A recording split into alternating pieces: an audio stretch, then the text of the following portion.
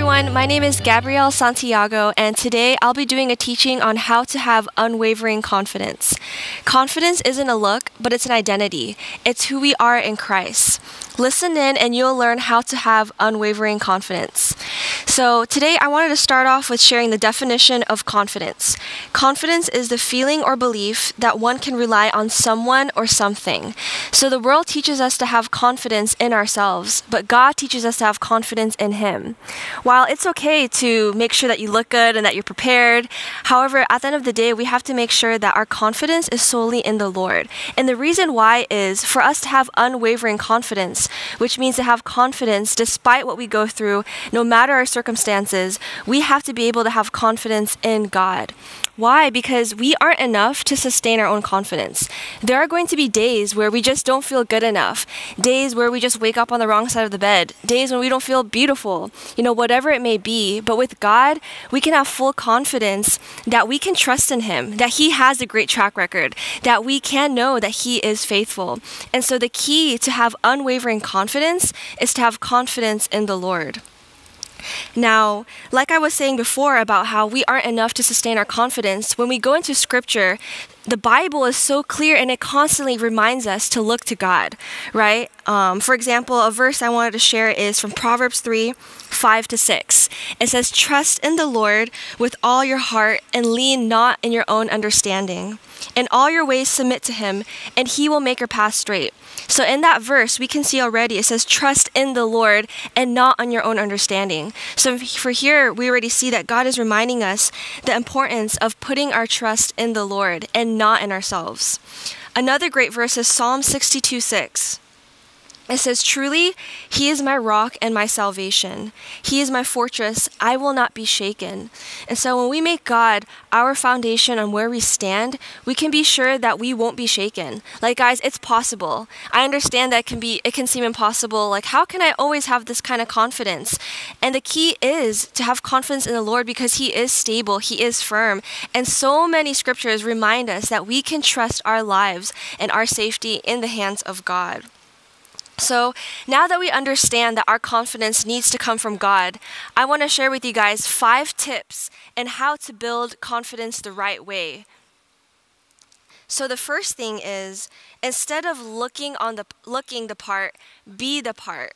A very key here is um, many times we try to just look the part, right? Like focus on our beauty, focus on what we're wearing. Now, all those things are great, but we have to make sure that we don't identify ourselves by what we wear or by our makeup, and we're not trying to conceal things. Instead of viewing beauty and makeup and wanting to conceal yourself. View it, view it as a way to emphasize and accentuate the features that God has created you to be, right? Because Psalms 139, verse 14 says, I am fearfully and wonderfully made. Your works are wonderful. I know that full well. We have to have a firm identity in who we are in Christ and knowing our true beauty that comes from Him. And instead of focusing on looking the part, focusing on being the part, right? If you know that you are beautifully, wonderfully made and that the Lord has created you, right, with confidence, you can then dress to, to complement right? The confidence that God has given you, the beauty that God has given you. And so makeup and all these things um, with, you know, fashion and whatnot, that's really meant to complement you. And that is going to help really boost your confidence when you uh, focus and understand who you are in Christ. Because, like what I was saying before, confidence isn't a look, it's an identity, it's knowing who we are in Christ. Right, in Jeremiah 29 11, God says that He created us to prosper, right? Not to harm us, but to give us a hope and a good future. So, if we know that we were created to be successful, we can dress and look the part, right? And it's meant to only to complement who we are. Proverbs 31:30 says, "Charm is deceptive, beauty is fleeting, but a woman who fears the Lord is to be praised."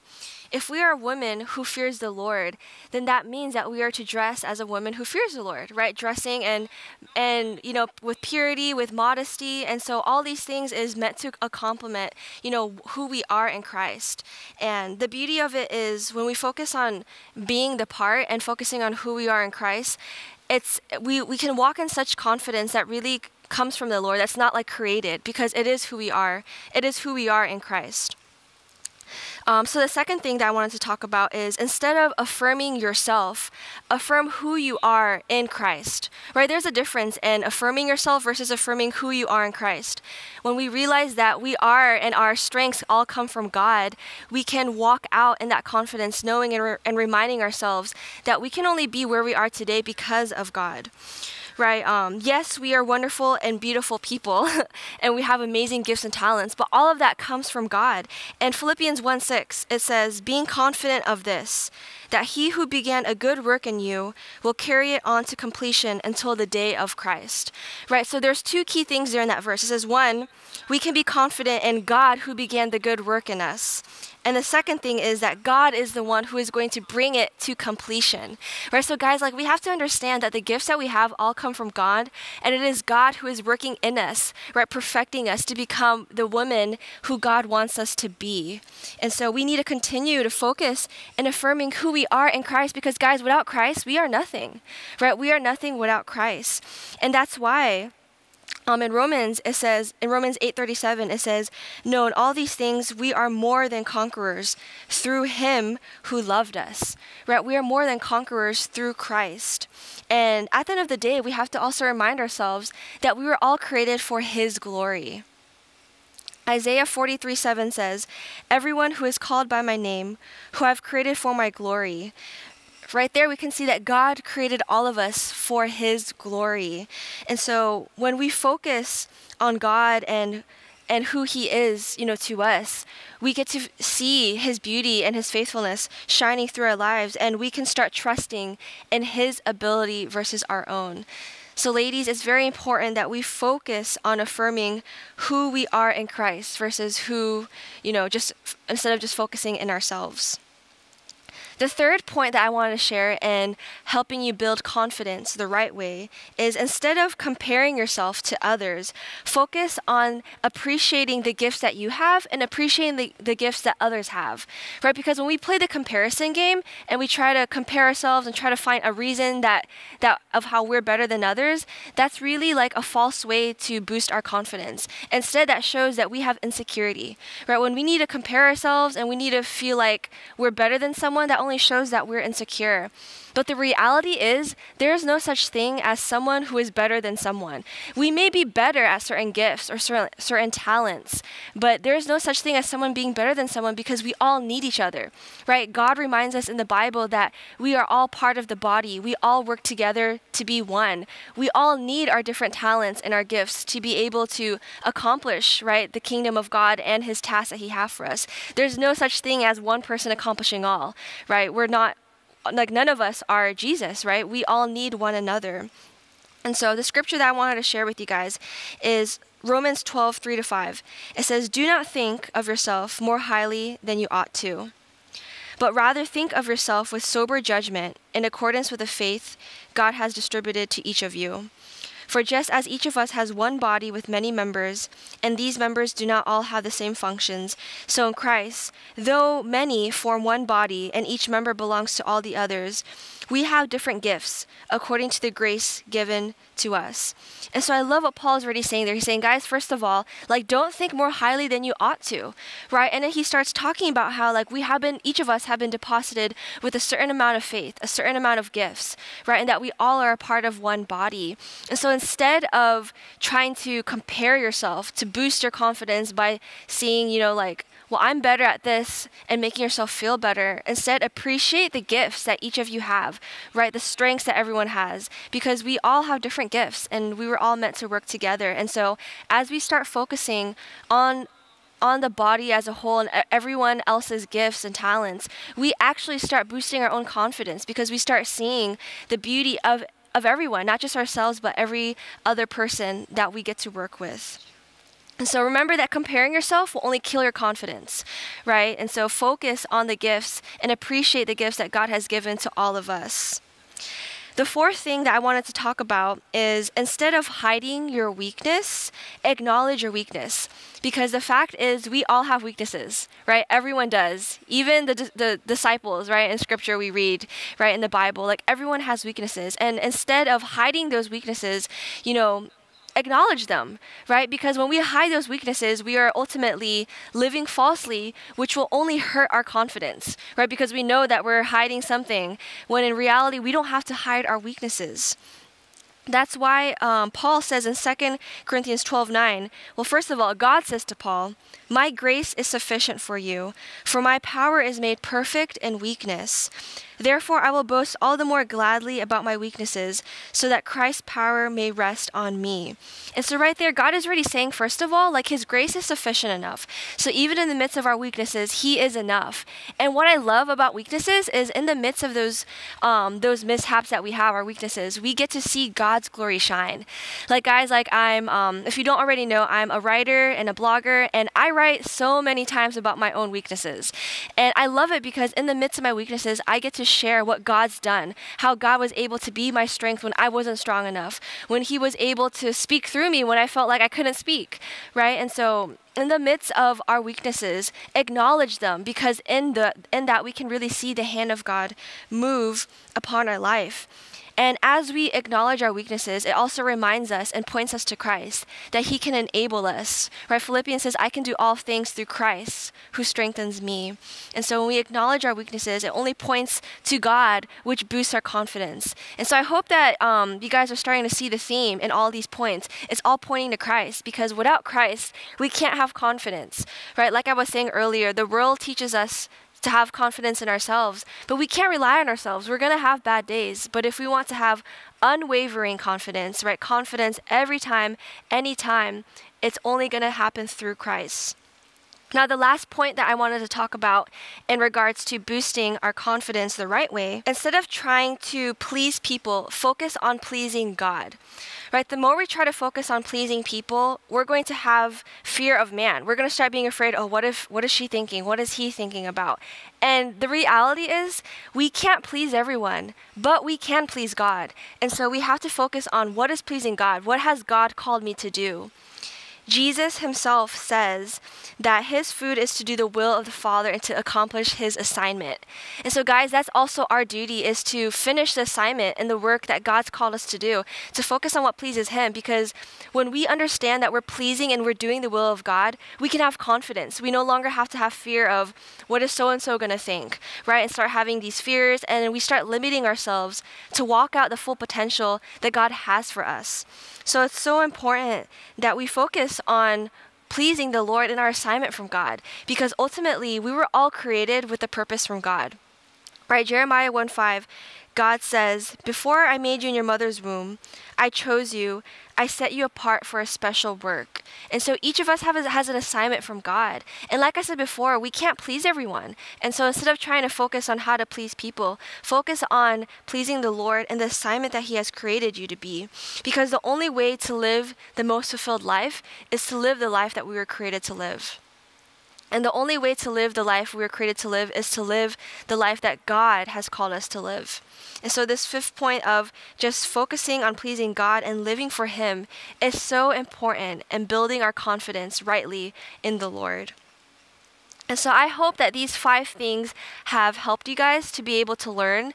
I would really recommend that you take these to heart, right? And also practice renewing your mind. Romans 12 talks about how do not be transformed by this world, right? Or sorry, do not conform to the patterns of this world, but be transformed by the renewing of your mind. And so it's so important that we renew our minds with truth right? Because the world has what they have to say, but then we have God's truth. And if we want to build and walk out confidence the right way in the Lord, it will require us to continue to renew our mind in His truth. Now, there are more tips that I have for you. However, I want to invite you guys to join a four week masterclass that I'll be doing on how to have unwavering confidence. Now, in this masterclass, you'll be able to um, be joining alongside other women who will be learning with you. It's going to be done all through online, through Zoom calls, and you'll be able able to go in depth and learn more of how to have unwavering confidence. Now, in those four weeks, in week one, we'll be um, talking in more depth of what I spoke today on how to have confidence and how to build it the right way and having confidence in the Lord. The second week, we will be talking about, you know, how, you know, what are the lies that we are believing and throwing away those lies and renewing our mind with God's truth. The third week, we will be talking about how to live out our confidence, right? What are ways that we can live it out in our families, in our workplaces, in our in our careers, and where God is placing us at. And the fourth thing that is really important is we are going to learn how to instill unwavering confidence in others. Because, guys, when God calls us and when He deposited something in us, He wants us to empower that to others, right? Like God even says, go and make disciples of all nations. And so, whatever we have, right, this confidence that we're learning, God wants us to empower other women. And so, that fourth week, we're going to be talking about how to do that. And so, to sign up, all you have to go is to bit.ly, bit.ly slash unwavering confidence, and there you can sign up and get more details. And so I hope that this has encouraged you. And like I said before, it is possible to have unwavering confidence. And ultimately, it comes through Christ, right? And those five tips that I gave you, all of those, we can see the pattern is to be rooted in Christ and to remember that we cannot sustain our own confidence, but in Christ we can. In Christ, we are more than conquerors. And in Christ, we can do all things. And so the last verse that I wanted to end today is 2 Corinthians 5 17 to 20. It says, Therefore, if anyone is in Christ, the new creation has come, the old has gone, the new is here. All this is from God who reconciled ourselves to himself through Christ and gave us the ministry of reconciliation. So, this verse right here, we see that God, when we are in Christ, the old has gone and the new has come. And what that means is we get to walk out our new identity in Christ, right? We get to be walking out with the truth of God living inside of us. And that process is us being reconciled to Christ. And I love that last part. It says, And God gave us the ministry of reconciliation. And that's what I was sharing with you guys earlier before is that when God has you know, transform our own lives, He wants us to transform others' lives, right? We all have the ministry of reconciliation, helping others find their identity in Christ. And like what I was saying before, confidence isn't a look, it's our identity in Christ. And so as we walk out this new creation in Christ, we get to carry that ministry and help others walk out that confidence. And so I pray that you ladies are blessed by this and that God will continue to mold you into the woman you are called to be. And I would love to end with prayer. So, God, I thank you, Lord, for those who are listening, God. I thank you, Lord, for each and every one of their lives, God, that they are so precious in your sight, God. I pray, Lord, that your truth would just burn in their hearts, God, that you would show them who they are in you, God, that you would show them the beauty, God, that you have given them, God, the gifts and talents, the callings and the assignments that you have placed in their lives, God.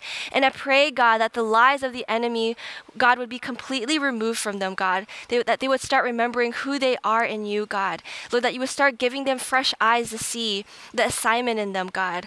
I pray, Lord, if there has been any comparison, God, in their mind, that that would be removed, God, that they would start seeing the right way, that they would start seeing women the other way, that they would start praising and giving giving thanks, God, and seeing the beauty of others, God, and themselves as well, Lord. I pray, God, that they would give that you would start to continue to build up confidence in them, God, of who they are in you, Lord. I pray, God, that you would just continue, God, to just speak over them, God, your love, God, and who they are, Lord. And God, I pray, Lord, that you would start helping them to just walk out the season with boldness, God, because there's so much that you have for them in this season, Lord. And this is not the time for us, God, to be given to fear, God, to, to be sitting back and not stepping out into who you've called us to be in the assignments that you have, God. But Lord, we don't have to feel like we're not good enough, God, because if you called us to the assignment, God, you will empower us, God. So I pray, Lord, that you would remind, God, Lord, the listeners, God, of the assignment you have for them, that you bring clarity in their minds of what you are calling them to do, and that they would have the confidence to do it, knowing that you are behind it all. So I thank you, God. Lord, I thank you for each and every person listening in. In your name we pray, amen. So thank you all for listening, and I hope that you have a blessed time. God bless you.